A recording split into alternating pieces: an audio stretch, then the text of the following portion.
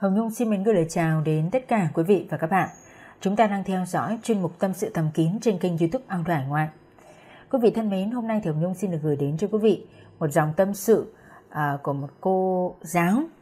Uh, cô có nói là tôi rất sợ cô học trò đáng ghét năm xưa trả thù. Ngay sau đây thì mời quý vị và các bạn chúng ta đừng bỏ lỡ video clip này. Vợ chồng tôi rất mừng vì vừa xin được cho đứa con đầu lòng vào trường mầm non loại tốt nhất của thành phố và cũng là trường điểm của toàn ngành giáo dục. Xin cho con vào đây học là một điều vô cùng khó khăn. Phần lớn các bé học ở trường này đều có bố mẹ thuộc hàng có máu mặt. Nếu không thì cũng là đại gia, buôn bán giàu có. Nghe đồn nếu không có thân thế hoặc quen biết tốt, nhà nào muốn xin cho con vào cũng mất không dưới năm vé. Năm vé ở đây tức là 500 đô la. Chồng tôi cũng phải cậy cục mãi mới xin được cho con. Tuy bác cầu được tới chỗ có thế lực, không phải trả tiền mặt, nhưng quà cáp cũng mất vài triệu. Buổi đầu tiên đưa con đến nhập học, tôi bận nên bố cháu cáng đáng. Anh về kể lại lớp có hai cô vừa xinh đẹp lại vui vẻ, nồng nhiệt đón các cháu. Nhiều đứa khóc thảm thiết không muốn vào lớp. Riêng con tôi chỉ lừng khừng níu áo bố đòi về chứ không khóc. Nhưng khi cô giáo ra đón dỗ ngon dỗ ngọt mấy câu là theo cô liền. Quay lại vẫy tạm biệt bố. Nghe anh kể tôi rất yên tâm, có ấn tượng hay về các cô giáo của cháu và mong sớm được biết họ. Chiều hôm đó tôi đến đón cháu, lớp của cháu ở tầng 1, nhìn ra cổng. Từ xa tôi chứng kiến cảnh hai cô trả cháu rất chu đáo. Họ dắt các cháu ra trao tận tay cho phụ huynh. Đến khi tới gần, tôi xứng người. Không ngờ một trong hai cô lại là học trò cũ của mình. Nay trở thành cô giáo của con mình và tôi sống lại câu chuyện xảy ra vào 7 năm về trước. Ngày ấy tôi là giáo viên dạy văn ở một trường phổ thông trung học. Mới tiếp nhận một lớp. Vừa dạy được có mấy buổi, tôi hỏi cả lớp. Tôi giảng, các em thấy thế nào? Tiếp thu bài có dễ không? Tôi thấy cả lớp im lặng. Không có em nào phát biểu gì cả. Linh cảm cho tôi thấy hình như học trò lớp này chưa hào hứng học thôi. Có gì các em cứ nói. Không ngại, tôi sẽ căn cứ vào khả năng tiếp thu của các em để điều chỉnh lại nội dung cũng như cách giảng. Vẫn im lặng. Đọc trong mắt của học sinh, tôi thấy chúng có vẻ ngần ngại, không dám nói. Tôi quyết định hỏi em lớp trưởng. Em nào là lớp trưởng? Một cô bé mặt mũi xinh xèo, có nước da hồng hào, mịn màng và tết hai bím tóc đứng lên. Thưa cô, em ạ. Em nói đi, cô dạy thế nào? Thưa cô, cho phép em nói đúng ý nghĩ được không ạ? À? Chứ sao, em cứ tự nhiên không phải ngại. Cô dạy chúng em chẳng hiểu gì cả.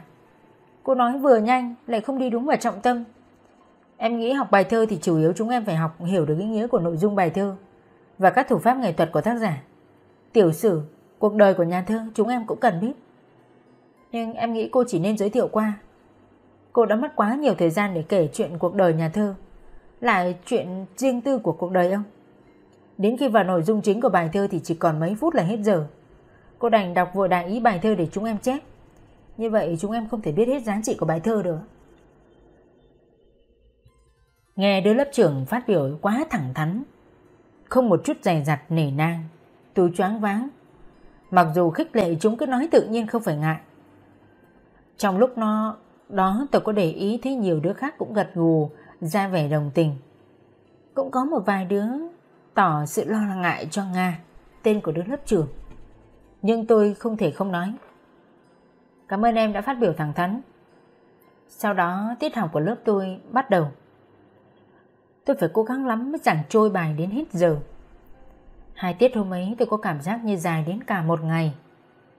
Hết tiết dạy ra về, đầu óc tôi nặng chiếu. Tôi bắt đầu thấy cảm ghét Nga vì nghĩ Sao nó có thể nói tuẹt ra giữa lớp? Trước bao nhiêu học sinh làm mất hết cả thể diện, Cả uy tín của mình như vậy? Như vậy chứng tỏ nó không coi mình ra cái gì, Nên mới dám ghen tưởng như thế. Tôi cố gắng nhìn nó bằng đôi mắt bình thường như mọi ngày, Và hết sức kiềm chế để không bộc lộ sự hàn học. Sau đó tôi được nhà trường cho biết cả lớp đã ký đơn tập thể để đề nghị đổi giáo viên dạy văn, vì chúng học không hiểu gì. Lòng tôi sôi lên. Tuy nhiên ban giám hiệu không làm theo nguyện vọng của chúng. Vấn đề tôi đứng dạy lớp này. Chỉ góp ý tôi là cần rút kinh nghiệm. Thực ra tôi cũng muốn chuyển lớp Vì không có cảm tình với cái lớp đã tẩy chay mình, Nhất là con bé lớp trưởng tên Nga. Trông mặt mỗi này hiền lành sáng sủa, Mà sao lại đáo để, Dám hỗn hào không nể mặt mình như vậy?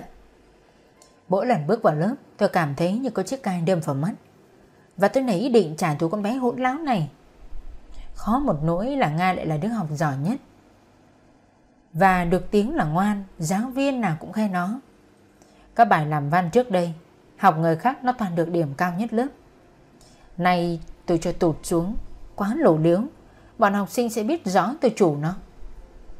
Đang loay hoay chưa nghĩ được ra mưu kế gì, Thì một đứa học sinh trong lớp đưa cho tôi mảnh giấy. Trò này là con của một người bạn tôi. Nó học yếu môn văn những năm trước. Mẹ nó có ý nhờ tôi vực dậy Vì cuối năm nay phải thi tốt nghiệp.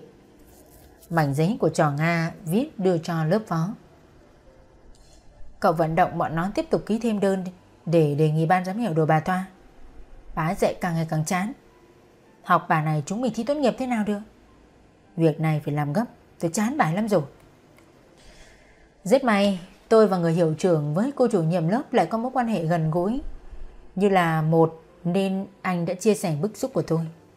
Gọi Nga lên bắt làm bản kiểm điểm về tội Xúc phạm giáo viên Và kích động học sinh chống lại cô giáo, Gây mất ổn định trong lớp. Cuối cùng, Nga bị phê bình trước toàn trường trong buổi trao cơ đầu tuần. Sau đó tôi không còn thấy nó ở lớp. Nghe những đứa bạn khác nói đã đã xin chuyển trường. Không còn nó trong lớp, tôi nhảy hẳn người. Những đứa khác dằm sắp nghe theo tôi. Không đứa nào dám ho he cửa quậy khi không còn lớp trưởng tên Nga. 7 năm trôi qua, nay Nga đã là giáo viên mầm non. Thực lòng tôi cũng thấy tiếc cho nó, vì nó học giỏi toàn diện, đặc biệt là môn văn, mà cuối cùng thì cũng chỉ thi vào các đẳng sư phạm mẫu giáo. Nhưng cuộc đời là thế, nó gây khó khăn cho tôi thì làm sao có thể may mắn được. Khi tôi đón con tại lớp mẫu giáo, Nga nhìn thấy tôi, chắc chắn là nó nhận ra. Tôi không thể không gật đầu chào với lúc đó có cả hai cô. Người kia nhiều tuổi hơn Nga, phải gần bằng tôi. Nhìn thấy tôi nó không tỏ ra đột ngột ngỡ ngàng. Đã gật đầu chào lại một cách rất đáp lễ như với bất cứ người xa lạ nào. Với các mẹ khác, nó nói đôi điều về tình hình ở lớp. Nhưng với tôi thì không.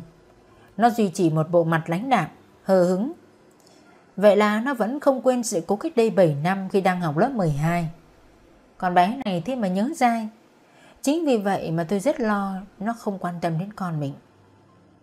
Một tuần sau cái ngày gặp lại Nga nói trên, hôm đó chồng tôi đi đón con. Về nhà thấy môi và má của con một bên bị sưng. Hỏi thì chồng tôi bảo là bị một bạn nam nghịch đẩy ngã. Cháu cũng nói như vậy. Nhưng tôi vẫn lởn vởn nghĩ nghĩ rất có thể Nga còn nhớ mối thù với mẹ mà kỳ thị con. Đánh nó khi nó nghịch gì đó. Bảo không nghe. Vì con tôi là một đứa cực kỳ hiếu động. Ngày nghỉ ở nhà, vợ chồng tôi luôn rất mệt với cái sự nghịch ngợm của nó. Tôi có ý định phản ánh việc này lên hiệu trưởng nhưng chồng tôi cản. Anh ấy nói làm vậy chỉ có giờ thêm. Việc này lên hiệu trưởng. Người ta đã có lời xin lỗi và trẻ con đùa nghịch làm ngã nhau là rất bình thường. Tất nhiên là anh không biết sự thật quá khứ của tôi và cái mối quan hệ của tôi với Nga. Con người không biết thế nào mà lường. Dẫu Nga không tệ với một đứa trẻ con, nhưng cô ta không thể nào nhiệt tình với con tôi như những đứa trẻ khác được. Mà chuyển cho cháu đi trường khác thì tôi không muốn, vì đã mất quá nhiều thời gian và công sức đi lại, chạy trọt thì mới vào được cái ngôi trường rất tốt này. Mặc dù chồng tôi ngăn cản nhưng tôi vẫn nghĩ đến việc cần tâm sự chuyện này với hiệu trưởng. Có vậy tôi mới có thể yên tâm. Tôi có nên làm như vậy hay không? Và liệu tình hình sau đó sẽ như thế nào? Quý vị thân mến, các bạn vừa lắng nghe xong dòng tâm sự của một cô giáo. Trước đây thì cô ấy có dạy à, à, đúng là éo le là trước đây cô là giáo viên bộ môn của cô giáo bây giờ lại là cô giáo của con cô ấy. Và ông Nhung nghĩ là cái trường hợp này nó cũng khá là éo le vì là ngày xưa nếu mà nói về lỗi thì không phải là do cô giáo mà có con này mà lỗi là lỗi do cái cô Nga, cái cô học trò cũ kia. Hồng Nhung nghĩ là một cái đứa học trò như vậy thì nó có phần là ra khá là hỗn láo với cô giáo của mình. Dù cô giáo có dạy không hay thì uh, chúng ta cũng nên là uh, góp ý rất là nhẹ nhàng với cô giáo là uh, cô dạy uh, bọn em chưa hiểu cô có thể nói rõ hơn được không? Uh, rồi sau đó như thế nào thì cả lớp sẽ cùng có ý kiến nhưng mà đây cô ta lại kéo bè kết đảng uh, làm đơn rồi tẩy chay cô giáo không cho cô dạy nữa như vậy là có một cái học trò uh, trước khi đi học thì chúng ta luôn luôn nghe một câu đó là tiên học lễ học học văn.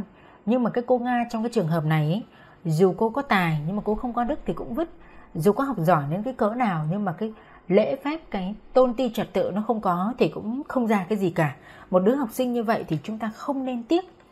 Và cũng nếu mà hồng nhung có con học ở cái trường ngôi trường mẫu giáo này thì hồng nhung cũng khá là lo lắng. Vì ngày xưa Ờ, dù gì ít nhiều thì cũng đã có một cái sự hiểm khích không hề nhẹ khiến cho cái cô nga này cô phải chuyển trường cô tự làm đơn đi chuyển trường học trường khác. Vì ờ, có lẽ là quá là ngại ở cái trường này và bị kỷ luật giữa toàn đông đệ, đông đảo rất là các bạn học sinh ở trong trường rất là đông như thế. Mà bị khiển trách như vậy thì rất là xấu hổ chính vì thế đã phải chuyển đi trường khác học. Và hồng nhung nghĩ là cái mối thù đó thì chắc là trong tiềm thức nó vẫn còn nhen nhóm. Và ít nhiều gì thì cũng có một cái sự gọi là đì à, từ đì đây trong ngoặc kép đó là cái sự bắt nạt đấy bắt nạt con của cô giáo cô giáo cũ của mình và ý kiến của quý vị như thế nào trong cái câu chuyện này thì quý vị đừng quên comment bên dưới để cho nhân vật của chúng ta họ có thể có được một cái lời giải đáp. Còn ngay sau đây thì Hồng Nhung xin được gửi đến cho quý vị lá thư tâm sự thứ hai. Ghê tởm người anh rể hụt. Ngay sau đây thì mời quý vị và các bạn chúng ta cùng theo dõi video clip. Cái chết tức tưởi của chị tôi khiến cả họ hàng và cơ quan của chị phải phấn nộ về cái gã sở khanh đó. Nhưng chẳng thể làm được gì anh ta. Thế là từ đó Khanh mất mặt Lặn một hơi cho đến buổi sáng gần đây Tình cơ tôi mới gặp lại Đang lúi húi lau chùi bàn ghế trong phòng làm việc, Vào đầu giờ buổi sáng, Thì giám đốc gọi lên phòng ông có việc Vừa bước vào, Tôi sững sờ khi nhận ra người đàn ông lạ mặt Trong phòng xếp anh ta đi cùng một người phụ nữ còn trẻ, Chỉ hơn tôi độ dăm tuổi. Giám đốc giới thiệu. Đây là tiến sĩ Tuấn Khanh ở viện, Sẽ đến công tác với cơ quan ta thời gian tới. Cô có trách nhiệm giúp đỡ anh ấy, Nếu anh ấy yêu cầu. Nhìn người phụ nữ còn khá trẻ, Ông cười rồi nói tiếp. Còn đây là chị Loan, Kiến trúc sư trẻ, Có thể gọi là bà xã của anh được rồi đấy nhỉ Thế là tôi đã hiểu, Hóa ra là đến giờ phút này, Sau 17 năm anh ta vẫn chẳng khác gì trước đây Người có tên Loan này theo giới thiệu của thủ trưởng chỉ là tình nhân Nhưng mà chắc gì cuối cùng họ đã nên vợ chồng bởi qua thái độ của Tuấn Khanh tôi biết anh ta không nhận ra tôi. Còn tôi thì kể cả vài chục năm nữa gặp lại thì cũng vẫn nhận được. Không có một chút ngờ ngợ. Phải, Khanh làm sao có thể nhận ra tôi vì ngày ấy tôi mới là một cô bé lên 10. Nhưng đã biết được nhiều điều hơn những đứa trẻ khác cùng trang lứa. Đột ngột gặp anh ta ở đây, quá khứ hiện về như một cuốn phim sinh động. Cách đây 17 năm, Chị gái tôi tên Thanh. Khi ấy 20 tuổi. Một hôm dẫn về nhà một người đàn ông hơn chị về tới 15 tuổi. Giới thiệu là Tuấn Khanh Làm việc ở một bộ. Anh ta ăn mặc khá chảnh chuốt Nói là từng học ở Đức về. Đang làm công tác nghiên cứu ở nội bộ Lần đầu tiên đến nhà lại trước mặt cả gia đình tôi Nhưng anh ta lại không có một chút e dè, Mà nói Có phần khoe khoang nên đã không để lại cho bố mẹ tôi ấn tượng tốt. Tôi khi ấy chỉ biết nghe mọi người nói với chị Thanh. Anh chàng này có vẻ bèn mép. Ở cái tuổi đấy rồi mà chưa có vợ thì còn phải xem xét kỹ. Bố mẹ có cảm giác anh ta đã từng lấy vợ, có thể ly hôn đấy. Tôi lại nghe chị Thanh nói. Con thấy anh ấy sống một mình ngay ở cơ quan mà. Anh ấy quê ở Quảng Bình, ra Hà Nội học từ cấp 3 rồi đi nước ngoài học đại học. Nên nói do giọng pha bóc nhiều. Sau đó tôi đi chơi Không nghe bố mẹ và các anh chị nói gì với anh ta nữa Những lần sau tôi để ý thấy anh ta đến gặp chị Thanh vào ban ngày Lúc bố mẹ và anh của tôi đi vắng Nhà tôi có ba chị em Chị Thanh là con cả Riêng chị Thanh lúc ấy là sinh viên Chỉ đến trường một buổi Lần nào đến Khanh cũng mua rất nhiều quà cho tôi Toàn là những thứ tôi thích Búp bê, gấu bông, kẹo sô-cô-la các loại. Lúc đầu tôi không có cảm tình, nhưng về sau thấy anh ta cũng vui vẻ, lại rất chịu mình nên tôi dần thấy thích. Một số buổi anh Khanh và chị Thanh cho tôi đi chơi cùng. Tôi để ý thấy hai người rất xoắn xích với nhau. Lúc này chị Thanh đã học tới năm thứ ba. Chỉ còn một năm nữa là ra trường. Anh Khanh rất hay lui tới và luôn biếu bố mẹ tôi quà. Rồi còn rủ anh trai tôi đi uống bia. Đến gần Tết, trước khi về quê, anh đến tặng gia đình rất nhiều thứ. Hoa quả rồi rượu tây bánh kẹo, toàn loại đắt tiền. Lại còn mua biếu bố mẹ tôi một cành đào rất to, thuê chở từ Nhật Tân đến. Tôi thấy bố mẹ có vẻ quý anh hơn trước. Ra riêng, anh Khanh từ quê lên lại đến thăm gia đình, Tảng cặp bánh trưng mang từ quê ra, nói là do mẹ anh gói. Rồi tôi thấy bố mẹ nhắc chị Thanh, nói anh Khanh mời bố mẹ quê có dịp ra Hà Nội thì đến nhà chơi để xúc tiến những bước cần thiết cho hôn nhân sau này. Bố mẹ tôi đều là nhà giáo nghèo, chỉ cần con rể có học, có đạo đức. Còn thì không nặng về chuyện giàu nghèo quê quán ở đâu. Miễn là con gái ưng thuận. Các cụ chỉ khuyên mà không áp đặt. Nhưng chị Thanh nói với bố mẹ là để đến khi chị học xong đại học, có công ăn việc làm ổn định, khi lấy anh Thanh sẽ mời mẹ ra thăm bố mẹ. Anh ấy nói là mồ côi bố từ nhỏ. Vì rất xa xôi nên bố mẹ tôi cũng thông cảm và chấp nhận. Năm cuối cùng qua đi với chị tôi rất nhanh. Ra trường chừng 2 tháng thì chị tôi có được việc làm ở một cơ quan nhà nước, đúng với chuyên ngành đào tạo. Lẽ ra chị phải rất vui, nhưng tôi thấy sau khi đi làm được một thời gian ngắn, chị Thanh có vẻ uể oải, mệt mỏi, người gầy và xanh hơn trước. Bố mẹ tôi càng hỏi thì chị thú nhận là đã có thai với anh Khanh. Kiềm nén nỗi tức giận, bố mẹ nói với chị là sự thể đã như vậy. Cần bàn ngay với anh Khanh để bàn chuyện cưới hỏi cho nhanh. Cũng may chị Thanh không còn là sinh viên mà đã đi làm. Lẽ ra nếu không có sự việc này thì một năm sau mới cưới theo dự định. Sau đó chị báo cáo lại với bố mẹ tôi là đã bàn kỹ với anh Khanh. Anh thống nhất với chị là tháng sau sẽ tranh thủ xin phép về quê, nói mẹ ra gặp bố mẹ tôi để tính chuyện cưới xin cho hai người. Việc chưa kịp diễn ra thì một buổi tối tôi đi học thêm vừa về đến nhà. Thấy mẹ tôi khóc thảm thiết, nói với tôi trong nước mắt. Con ơi, chị con bị tai nạn, đang cấp cứu trong viện rồi. Tôi nói mẹ cứ bình tĩnh, rồi tức tức vào viện cùng với mẹ ngay. Khi ấy đã có bốn và anh trai tôi ở trong đó với chị. Vào tới nơi tôi thấy chị nằm ly bì bất động, đang phải tiếp nước, toàn thân quấn băng trắng. Bác sĩ cho biết sức khỏe của chị lúc này rất nguy kịch, khả năng sống là mong manh vì bị băng huyết. Nhìn thấy chị mẹ tôi òa lên khóc và quỵ xuống cạnh giường bệnh khiến các nhân viên trong bệnh viện phải dìu ra ngoài hành lang. Mấy tiếng sau thì chị tôi qua đời. Đám tang của chị tôi rất đông. Có tất cả các bạn của chị trong lớp đại học, bạn cũ, người cùng cơ quan. Tôi thấy anh Khanh mặt muốn lầm lì, luôn cúi gằm và không nhìn vào ai. Tôi nghĩ là anh sẽ thương tiếc chị lắm, vì người vợ tương lai rất xinh đẹp của anh chỉ mấy tháng nữa sẽ sinh cho anh đứa con. Mãi sau đó tôi mới hiểu thái độ đó của anh Khanh. Được cắt nghĩa bằng một lý do hoàn toàn khác.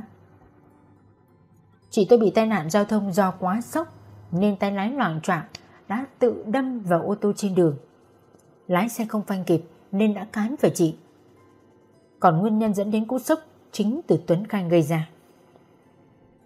Trước hôm xảy ra tai nạn, chị ta nhận lệnh cơ quan phải đi công tác ở Huế nhưng việc xong sớm, chị trở ra trước so với kế hoạch. Ngày hôm sau là chủ nhật, chị ấu nhà đến nhà anh Khanh thì gặp một người phụ nữ cùng một đứa trẻ nhỏ đang ở đó. Nhìn họ, nhất là đứa trẻ rất giống cha. Linh tính mách bảo, đó chính là vợ con của anh Khanh. Anh ta lúng túng không biết giới thiệu thế nào. Quá choáng váng chị lao ngay ra cửa. Mở quán xe ra về. Vừa đi được một quãng đến đoạn đường rẽ trái Do phân tâm, chị đã rẽ đột ngột, không quan sát nên bị một ô tô đâm phải. Vậy là suốt thời gian yêu Tuấn Khanh, chị tôi không hề biết anh ta đã có vợ con ở quê. Anh ta lừa khéo đến mức chị đã đặt hết niềm tin, hoàn toàn dồn hết tình cảm và chuẩn bị cho ngày cưới không xa. Cái chết tức tưởi của chị tôi khiến cho cả họ hàng và cơ quan của chị phải phấn nộ về gã sở khanh đó. nhưng chẳng thể làm được gì anh ta. Thế là từ đó Khanh mất mặt, lặn một hơi cho đến buổi sáng gần đây tình cờ tôi mới gặp lại. Vậy là ít nhất trong đời Tuấn Khanh đã lừa hai người phụ nữ là vợ anh ta và chị tôi, dẫn đến cái chết tội nghiệp của chị. Nay lại là người đàn bà trẻ có tên Loan kia. Chị ta tuy hơn tuổi tôi, nhưng trông vẫn còn nhiều nét mơ mộng, trong sáng của một cô sinh viên. Liệu chị ta có biết rõ thân phận của Tuấn Khanh? Liệu chị ta có đang bị lừa như chị gái tôi mười mấy năm về trước? Khanh có thể đã bỏ vợ, và như vậy việc anh ta quan hệ với chị Loan là hợp pháp. Nhưng lấy gì đảm bảo chị ta lại không là một nạn nhân nối tiếp của Khanh? Tôi trốn dậy, nhu cầu muốn gặp riêng Loan để nói rõ sự thật về gã đàn ông đang là chồng chưa cưới, để may ra có thể cứu chị ta khỏi sự lừa bịp tinh quái của gã sở khanh. Làm việc đó, tôi vừa muốn trả thù cho chị tôi, vừa muốn giúp người đàn bà vô tội kia mà tôi đang rất có thiện cảm. Theo các anh chị, tôi có nên làm như vậy hay không? Các bạn thân mến, các bạn vừa nghe xong lá thư tâm sự thứ hai của một cô em gái bảo vệ cho chị mình. Và nếu mà Hồng Nhung là nhân vật chính trong câu chuyện Nhung là cô em gái này thì Nhung sẽ gặp chị Loan kia để nói rõ sự tình cho chị biết cái tên hai mặt này nó như thế nào. Cái sự đều giả của anh ta ra sao khi mười mấy năm về trước đã lừa chị gái của mình. Anh này đúng là một gã Kim Jong-un của Việt Nam. Một cái gã lừa đảo chuyên nghiệp, một thằng sở khanh đúng nghĩa. À, xin lỗi quý vị, Hồng Nhung phải dùng từ thằng ở đây vì à, nó đã có vợ con rồi mà nó vẫn còn đi lừa gái lừa con gái nhà lành hẳn hoi tử tế toàn những là cô gái chưa có chồng những cô gái mới lớn lên mới thoát khỏi cái đời sinh viên còn nhiều mơ mộng còn rất là trẻ những cái suy nghĩ còn rất là ngây thơ và rất là non nớt vì anh ta là một người có vợ con rồi cho nên anh ta rất là có kinh nghiệm trong cái việc chinh phục phụ nữ. Và hết người phụ nữ này đến người phụ nữ khác bình thản lửa lừa và trong cái thời gian mười mấy năm đó thì à, chị của cô này đã, đã mất. Thì trong cái quãng thời gian đó Hồng Nhung nghĩ là anh ta còn lừa đến vô số cô nữa rồi chứ không phải là một cái cô Loan bây giờ. Và quan điểm của Hồng Nhung là nên gặp rõ chị Loan để nói rõ sự tình cho chị biết à, cái bộ mặt thật của cái thằng Sở Khanh này là như thế nào còn ờ, ý kiến của quý vị như thế nào? Có nên gặp để nói chuyện hai mặt một nhớ hay không? Hay là chúng ta sẽ giữ im lặng để ờ, cho mọi chuyện xuôi chiều mất mái à, ờ, thì quý vị đừng quên comment bên dưới để cho nhân vật chính của chúng ta cô có được một cái sự uh, được có một cái cách giải quyết tốt nhất. Còn bây giờ thì Hồng Nhung xin kính chào quý vị. Hồng Nhung xin hẹn gặp lại quý vị và các bạn vào những audio tâm sự của lần sau. Hồng Nhung xin kính chào.